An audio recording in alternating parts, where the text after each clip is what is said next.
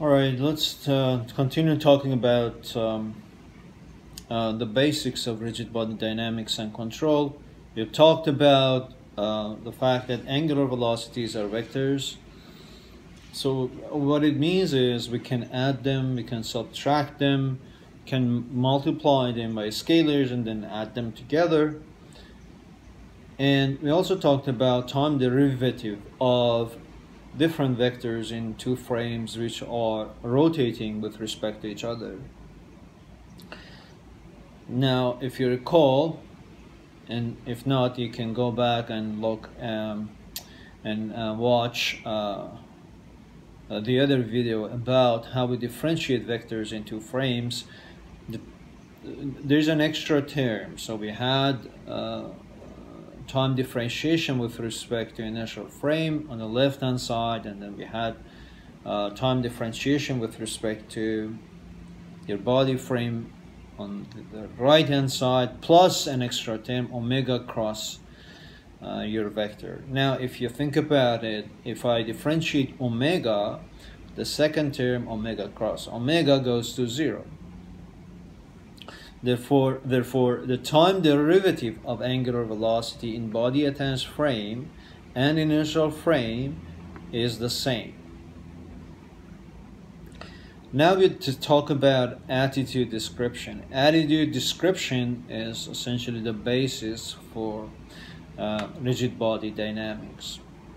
There are different ways we describe the attitude of a rigid body. We have um, direction cosine matrix or they're just called direction cosines. And Euler angle sets or just Euler angles. Then we have quaternions Rodrigues parameters and we're going to talk about these one by one. We start with direction cosine matrix.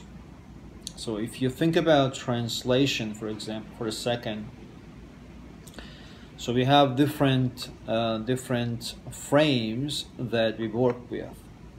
And then we start with Cartesian frame though, uh, because it is easier maybe to um, uh, to imagine how Cartesian frame works, how we locate objects in a Cartesian frame, which is just the distance uh, to three three orthogonal um, axes.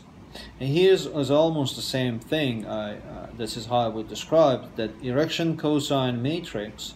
It is um, uh, it is the easiest and, uh, to imagine, and therefore it is the most fundamental way we describe attitude.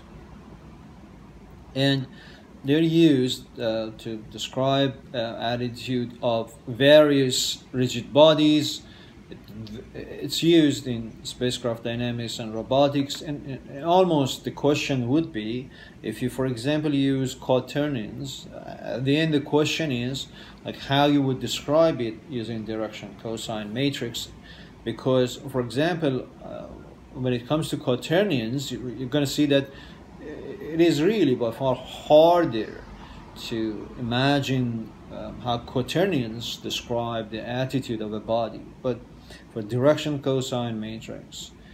Uh, it is by far easier to uh, imagine the orientation of a body using that. So definition, if you consider two frames we two, with two sets of uh, dextral uh, sets of uh, orthogonal unit vectors, dextral simply means right-handed, so we are, because we always work with right-handed coordinate system. So uh, then we define Cij as ei dot bj hat. And if you don't know what the sun is, mathematically, this is what mathematicians use to say equal by definition. Right? And it is equal by definition. So, and um, how it works is, for example, if you think about these two frames, so my E frame and my B frame, then uh, this is a dot product between the two unit vectors. And I and J uh, uh, vary between uh, 1 and 3. So 1, 2, and 3 because we have three unit vectors to describe uh, our uh, reference frame.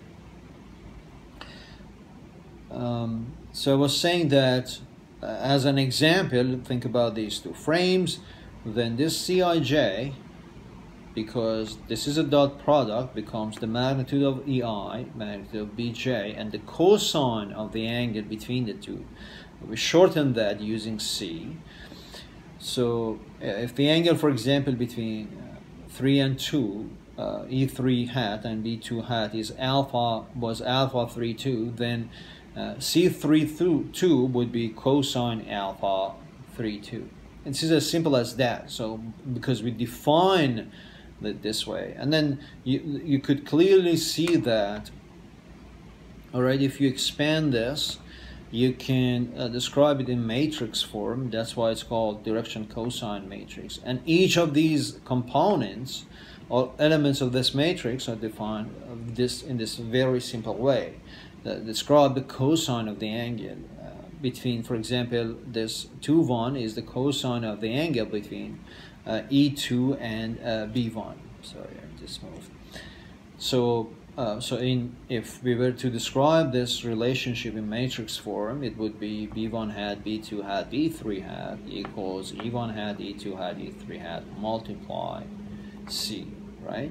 So we simply replaced uh, this dot product. We, we could think about it this way with this matrix operation. Right? So, and then, um, so direction cosine matrix describes the rel relative orientation of two reference frame or rigid bodies, excuse me, E and B. And um, uh, couple properties. If you write C and C transpose, then you can show, if you just simply expand that, you can show that the determinant of CC transpose is equal to 1.